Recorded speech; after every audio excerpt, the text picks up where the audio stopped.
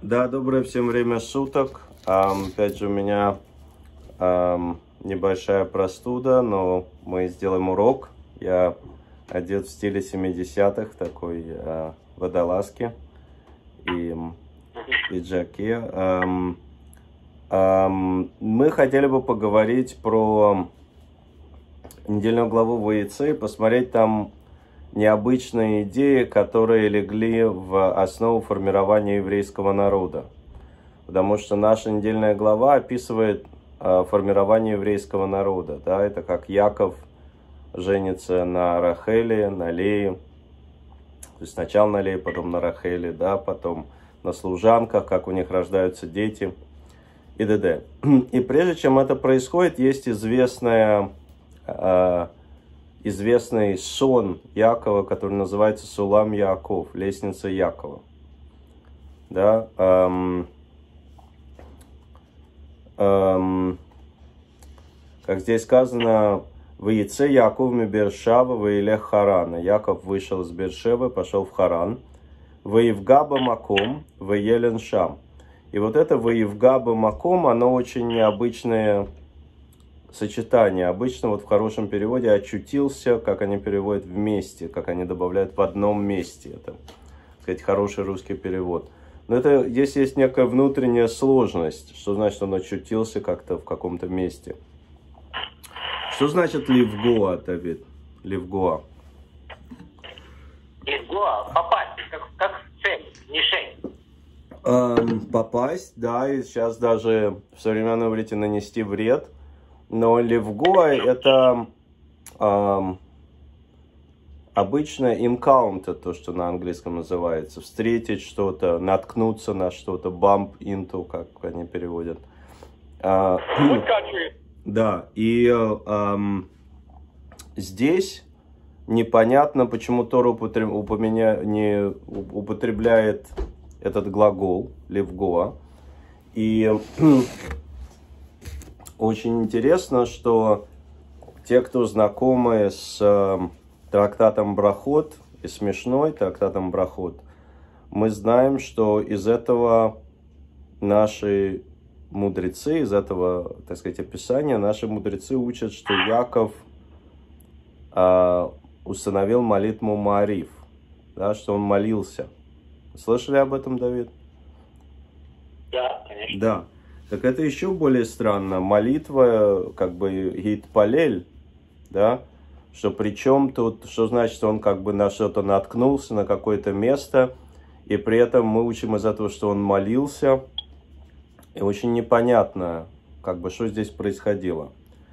И эм, Раши, я не буду читать весь Раши, но я прочитаю часть.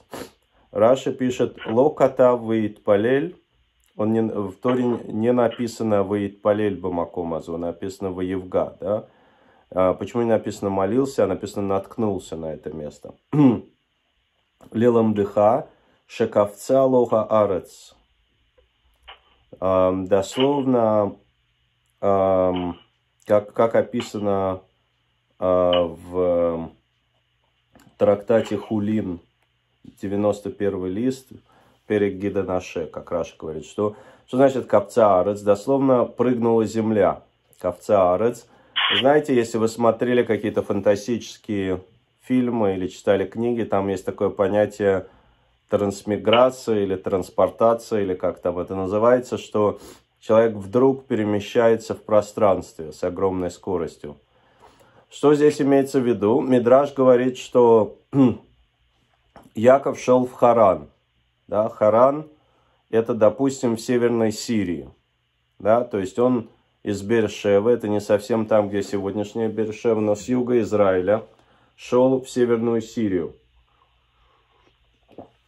И уже, так сказать, э, находясь, скажем так, в Сирии, он вспомнил, что он не остановился у горы Мурия, у храмовой горы. Да, там, где его отец был связан, да, на горе Акида. И а, Всевышний сделал такую вещь, что он не мог дальше двигаться. Да, то есть эм, а, поэтому написано, что Ваевгаба Маком, он дословно как бы наткнулся, как бы остановился, его, он не мог дальше идти. И, и Шака Шемеш, Кива Шемеш, да, зашло солнце. То есть он оказался в очень тяжелой ситуации, он не мог ни дальше продвигаться, и, эм, и стало темно, да, и эм, эта ситуация символизирует кризис в жизни человека. Представьте себе Яков, да, то есть у него ничего нет, у него все отобрали. Он не знает, увидит ли он еще своих родителей. Он один совершенно в какой-то там Сирии, да, там непонятно где. Это не сегодняшняя Сирия, но в то время тоже Сирия не была, так сказать, э, курортом непонятно где. И он не может дальше двигаться, и зашло солнце, и тем, темно. Это э, символ кризиса э, в жизни человека, да, в той или иной форме. И Раши э, здесь говорит потрясающую вещь, почему написано, почему слово молилось, молился связано с понятием, что Всевышний дословно как бы передвинул храмовую гору туда, или его перед, опять передвинул к храмовой горы. Это может быть одно и то же, или как вы на это смотрите. Но он оказался вдруг у, на храмовой горе в этой ситуации. Как вы это понимаете, Давид? Что здесь Мидраш хочет сказать?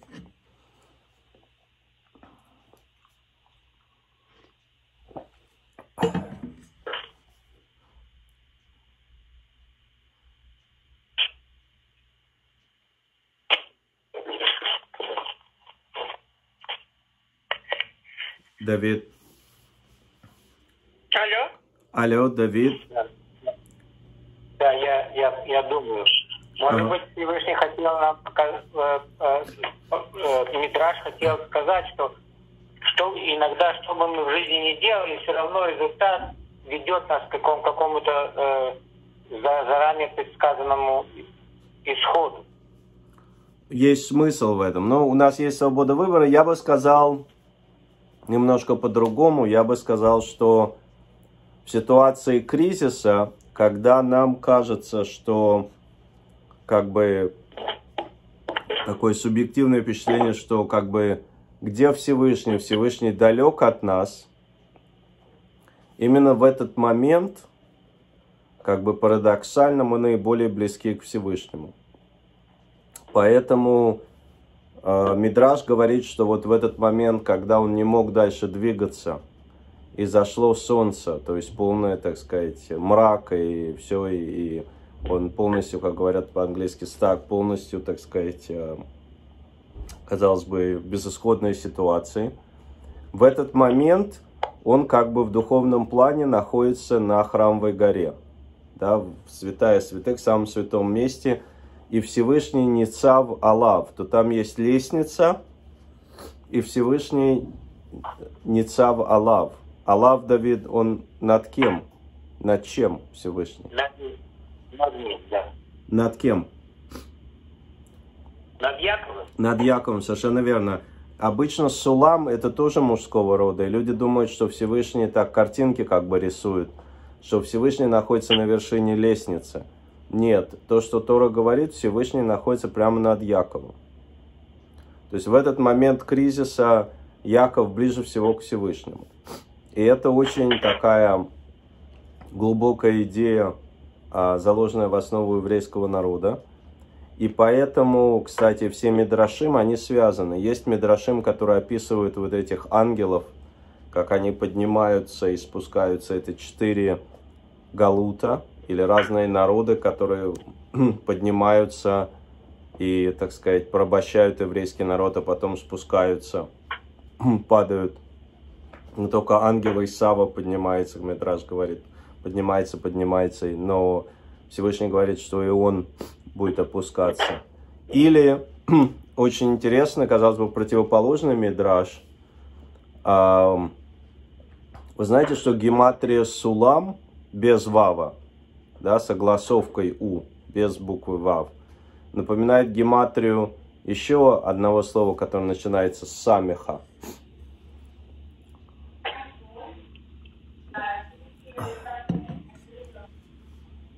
Синай, да, Синай и Сулам это, по-моему, одна и та же гематрия.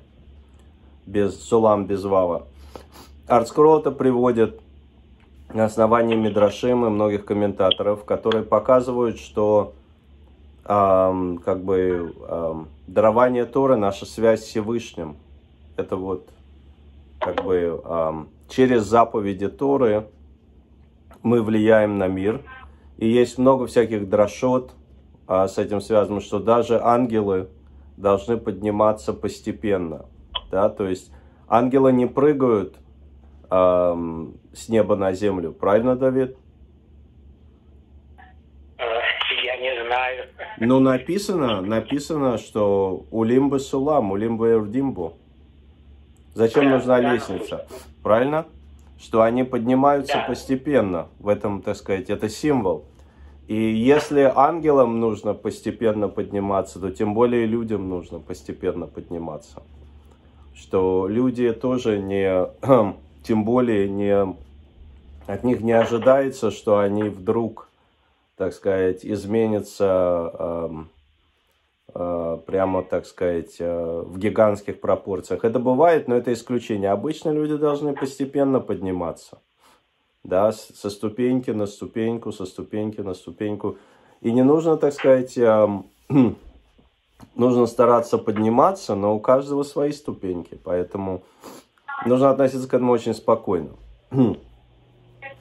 И Нефешахаем говорит, что эм, эти мелахим, откуда они берутся, что это за ангелы. Есть такой вопрос, почему они поднимаются сначала.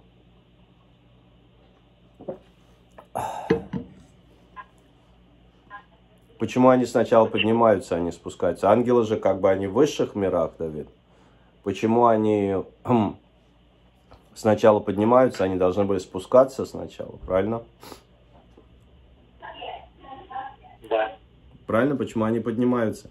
Рашбам является исключением, он говорит, что это просто форма описания, но большинство комментаторов говорят, нет, необычная вещь, что они э, поднимаются – и эм, Нефиш Ахаем, Равхаем из Воложина говорит, что это наше мецвод.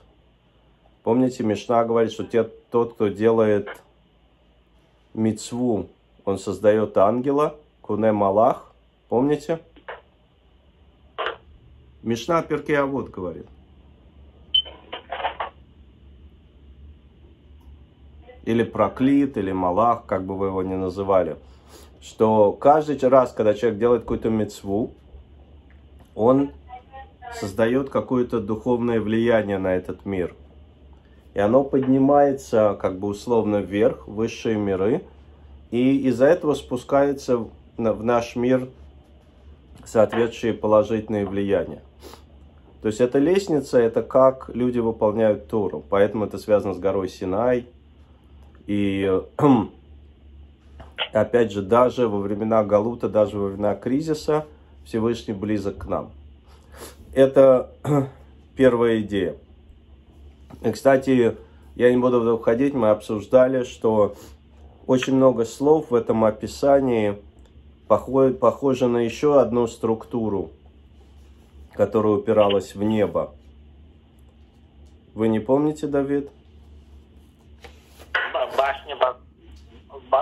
Башня, Вавилонская башня? Совершенно верно, потому что здесь написано Рошо Башамаем, Рошо Магия Шамаем, что-то такое. Там очень много параллелей в описании. И идея Вавилонской башни, что на Ланушем мы хотим себя возвеличить, они говорили.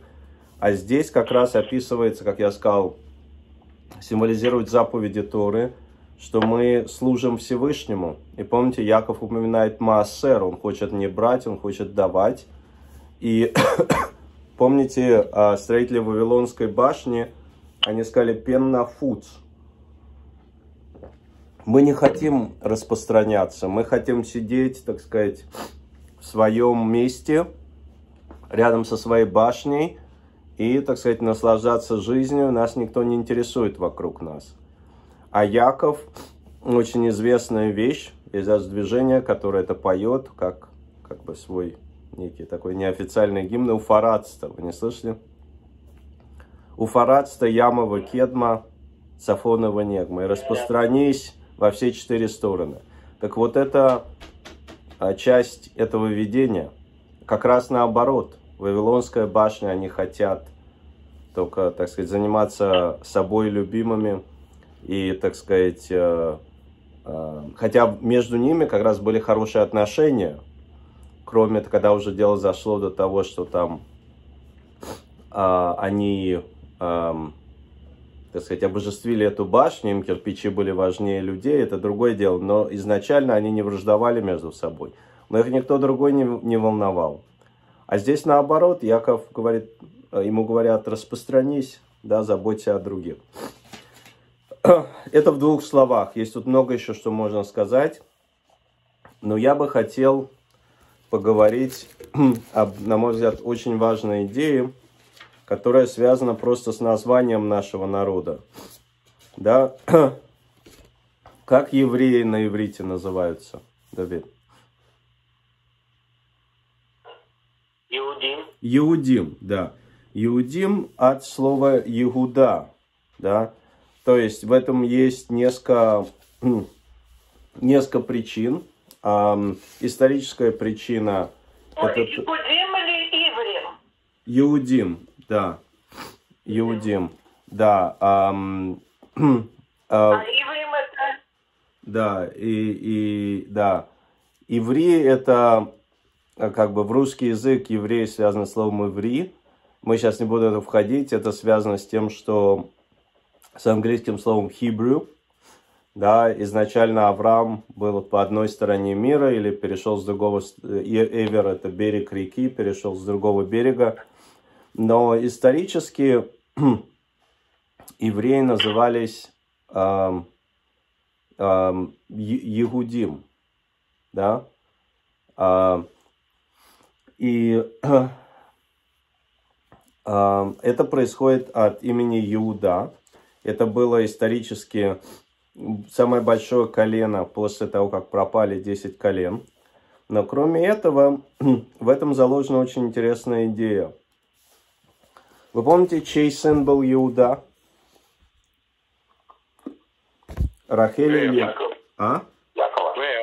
Лея, да, Лея, да. Большинство колен были сыновьями Леи, кроме Рахели кроме Йосефа и Беньямина.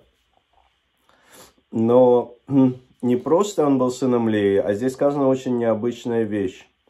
Он был каким по счету сыном Леи? Миша, вы не помните? Четвертый. Четвертый, да. Сейчас я вам прочитаю это, эм, так сказать, на иврите, по-русски. Давайте попытаться понять, какая, какая заложена в нем идея, что тут необычного. Эм, сказана такая вещь. Эм, вот после трех сыновей Ветагар, Од, Ветелет Бен, Ветомер Хапам, Удеет Ашем, Алькен Крааш Мо Иуда, Ветамод Меледет. И зачала еще и родила сына, и сказала, на сей раз восхвалю Всевышнего, поэтому назвала его именем Иуда. Что значит Апам, на сей раз восхвалю Всевышнего? Это не сказано ни про какого другого сына, и Талмуд в трактате Брахот говорит очень необычную вещь. Рашби, Раби Иуда, э, Рашби, э, Раби Шимон бен Юхай говорит, что до Леи ни один человек сотворения мира так не благодарил Всевышнего. И Всевышний ждал сотворения мира со дня сотворения мира, когда Лия скажет эти слова. Как вы это понимаете, что здесь такое? Что Авраам, Ицхак, э, Яков и до них, там Шем, Эвер, Ноах, другие праведники, там, я не знаю, никогда не благодарили Всевышнего, что, что это такое? Что здесь было такого необычного? Вот от того, что храм от него предал, его предал Э, ну, храм был в основном на деле Беньямина. И уже... Да, Тамар, Тамар, которая начала, она же... Да. Ну, ладно. Вы имеете в виду Машиах, да, но эм, как бы здесь, если храм, я бы сказал, что Леви тогда нужно было бы благодарить. И кроме того, здесь вообще не упоминается ни Машех, ни что, просто вот сказано сейчас, я восхвалю Всевышнего. Апаму да это Шем. Почему сейчас, почему это была такая необычная вещь, почему никто раньше этого не делал? И поэтому мы называемся Иудим, и поэтому каждое утро мы говорим Муде. Это связано с словом Иуда, кстати, Муде, я благодарю. Муде, а не Лифанеха. Даже если это мы можем сказать, что это поздний обычай, я не знаю, как, когда есть, его относят к Резалю. Я уверен, что да, и Резале были такие идеи. Но тем не менее, сейчас все евреи, соблюдающие Тору, говорят первую фразу каждое утро «Муде не лифанеха». Почему? То есть мы должны понять, в чем идея здесь. Вы понимаете вопрос? Да. Да. Я вам дам два ответа. Первый ответ, казалось бы, простой. И второй ответ, как бы, более детальный. Простой ответ его приводит Раши, его приводят другие комментаторы, что про матери были пророчицами, по крайней у них был Руаха Кодыш, хотя они не входят в семь пророчеств, которые были у нас.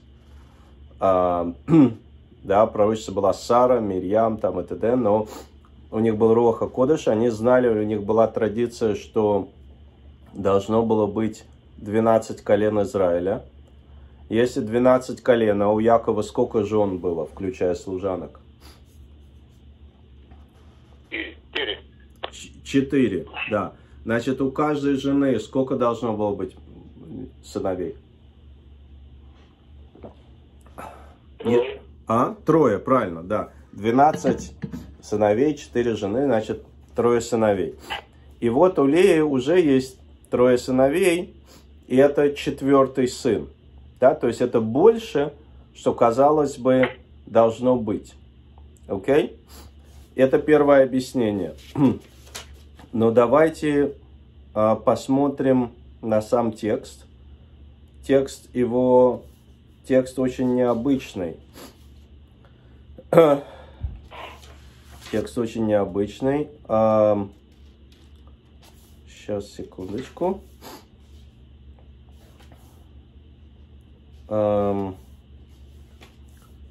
Сейчас, вот. Значит, я прочитаю по-русски, просто чтобы было, так сказать, быстрее. И зачала, это первый сын до, до Иуды, и зачала ли и родила сына, и назвала его именем Реувен, потому что сказала, так как увидел Всевышний мои страдания, то теперь будет любить меня муж мой. Почему это произошло? Потому что до этого сказано, увидел Всевышний кисну али а, что Лея, дословно как переводит, нелюбима, и дал ей детей. То есть, почему Всевышний дал ей детей? Потому что Лея была нелюбима. То есть, что Лея хотела, чего Лея искала?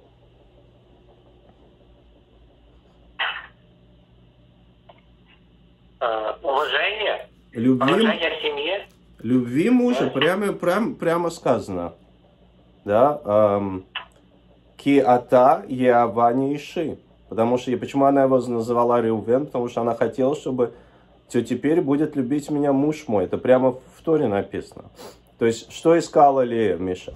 Какая, какого благословения? Э, детей. Ну, как детей? Здесь прямо написано. И увидел Всевышний, что Лея нелюбима. Киснуа.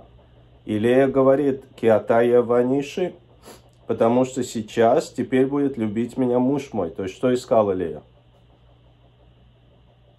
любви мужа? Любви мужа, ну прямо же написано. Внимание. Любви мужа, ну тут прямо написано, то теперь любить меня будет муж мой. Она чувствует, что она нелюбима по сравнению с Рахелью. И она искала любви мужа, правильно? Да. Прямо написано. Теперь Если этого недостаточно, то дальше написано, зачала еще, родилась сына и сказала, услышал Всевышний, что я нелюбима. Кисну Аанухи, я нелюбима. И также дал мне этого и назвала его именем Шимон. То есть, опять же, чего Илия хочет достичь? Любви мужа. Правильно? И третий сын. И зачала еще, и родила сына, и сказала, теперь на этот раз муж мой прилепится ко мне. Ибо, ибо я родила ему трех сыновей, Елаве, Елавене Иши, да, будет дословно меня сопровождать, будет со мной. А, поэтому он назвал его именем Леви. То есть первые три сына Лея ищет любви мужа. Какое благословение ищет Лея любви мужа? Правильно? Логично, это просто прямой текст Торы. И четвертый сын, как мы сказали, Ветар от ветелет бен ветомар хапаму деет Ашем. И зачала еще, родила сына, и сказала на сей раз, восхваля Всевышнего, поэтому назвала его именем Иуда. Здесь что-то сказано про любовь мужа? Нет. И Рав Соловейчик говорит очень глубокий пшат, понимание Торы. Лея искала любви мужа всеми силами. И первый сын, второй сын, третий сын, она пыталась добиться любви мужа. Когда родился четвертый сын, даже больше того, что она должна была получить, она поняла, что она не добьется любви мужа. Это не изменилось. Яков все равно любил Рахель больше, чем Лея. Но Лея вдруг увидела, что к ней пришло другое благословение. У нее больше сыновей, чем у кого-либо другого. Понимаете? Опять же, это не то, что она искала, не то, что она просила. Это то, что решил Всевышний. Всевышний дал ей другое благословение. Он ей дал детей. И она сказала, Апаму Деташем. Несмотря на то, что это не то, что я искала, не то, что я думала, что Всевышний мне должен дать, а то, что Всевышний решил, что он должен мне дать, я все равно благословлю Всевышнего. И вот такого благословения никогда не было сотворения мира. Понимаете? Не, не то, что до, до нее никто не говорил спасибо Всевышнему. Конечно, говорили. Но она сказала спасибо за то, что, как ей сказала, казалось, она не получила. Она увидела, что она не получила что-то одно, она получила что-то другое. Да? Потому что мы не можем понять планы Всевышнего. Если вы подумаете, Рахель всю свою жизнь хотела детей, у нее, да, с большим трудом а, было два сына, она умерла при рождении второго, но она получила благословение любви Якова. Да? Алея хотела любовь Якова, но она ее не получила так, как она хотела, но она, у нее было шесть сыновей из 12, больше, чем кого-либо другого. Большинство евреев это потомки Илии. И она сказала, когда родился Иуда, она сказала, что мы благословим Всевышнего за то, что у нас есть мы видим, мы, мы ищем благословение в том, что у нас есть, даже если это не то, что мы, казалось бы, хотели или планировали, или думали, что Всевышний нам даст. И в этом, так сказать, а, корневая идея, поэтому называемся Юдим, а, в образовании и существовании еврейского народа. И э, Эм, э, я бы еще хотел эм, привести еще две, две идеи очень быстро. Так, времени у нас мало. Это очень необычный разговор между Рахелью и Яаковом. Рахели нет детей. Она, так сказать, в тяжелом эмоциональном состоянии, скажем так и она говорит Якову, дай мне детей, или я умру. Да? Хавали баним вейм эйн мета анохи. Да, Вейхарав Яков. И Яков рассердился на нее и сказал, Атахат Элоким Анохи. Ашарманами мех прибатн. Тут очень нужно много сказать, но Яков говорит, что я Всевышний, что я могу сделать. он намекает ей, что ей нужно обращаться не к Якову, а к кому нужно обращаться? К Всевышнему. И очень интересная идея, она повторяется в Танахе несколько раз. Действительно, Рахель молится Всевышнему. И сказано, что когда родился Юсеф, что Всевышний ответил ей, Рахеле, что иногда мы ищем каких-то посредников, каких-то сгулот, какие-то там всякие какие-то, какие-то, так сказать, трюки, какие-то, так сказать, вещи. Но на самом деле нам нужно обращаться к Всевышнему. И это очень такая основная еврейская идея, это прямая связь со Всевышним. И я еще хочу только упомянуть, что мудрецы сказать, что Яков был наказан за то, что он на нее рассердился. То, что он ей, так сказать, дал понять, что нужно обращаться к Всевышнему, это было правильно. Но то, что он на нее рассердился, это было неправильно, потому что она была в тяжелом эмоциональном состоянии. И поэтому, так сказать, на его уровне он должен был отреагировать по-другому. И последняя идея, которую хочу упомянуть, здесь есть много, но я просто, так сказать, по времени, по состоянию упомяну только еще одну идею – это странный спор между Рахелью и Леей насчет дудаим. Дудаим это какие-то цветы, кто-то говорит, это мандрагоры или это какие-то фрукты. Тайним. Есть разные мнения, или у них были какие-то лечебные свойства, или это просто был символ любви, как ребенок приносит цветы матери, или это аромат какой-то был. И какой-то не важно, что это было. Был спор между Леей и Рахелью. Сказано, что э, Рахель Ватикане, что она, как мудрецы говорят, завидовала добрым делам Леи. Мы не будем в это входить. Но э, Лея, говорит, в Томарла, Лея сказала ей Рахеле, Амиат кахтеха тыши, разве тебе мало, что ты взяла моего мужа? Теперь, подождите минуточку, кто у кого взял мужа? На ком хотел Яков жениться? На ком Яков хотел жениться? Рахиле. На Рахеле. Почему он женился на Лее? Обман был. Потому что Лаван это подстроил. Правильно? Таким образом, как мы все знаем, это как бы не специально. Лея взяла у Рахели мужа. Правильно? Правильно?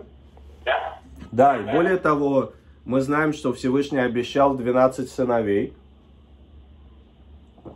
И по простому пониманию текста, эти все 12 сыновей должны были быть у Рахели или у ее служанки, там часть у нее. То есть, он как бы это взяло и детей у Рахели тоже. Почему, как же Лея может говорить, эм, ты, Рахель, взяла у меня мужа? Это же наоборот все было. Как она могла это сказать? Она его любила, хотела его любви. Ну, хотела его любви, но нельзя, так сказать, придумывать вещи.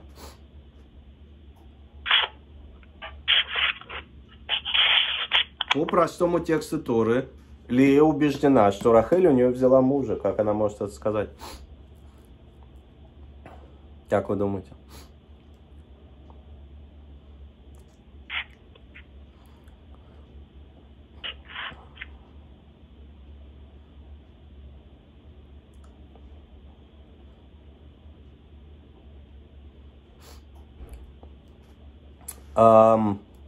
Сфорно, Рававади Сфорно говорит интересную вещь, другие комментаторы говорят, что Лея была права по-своему.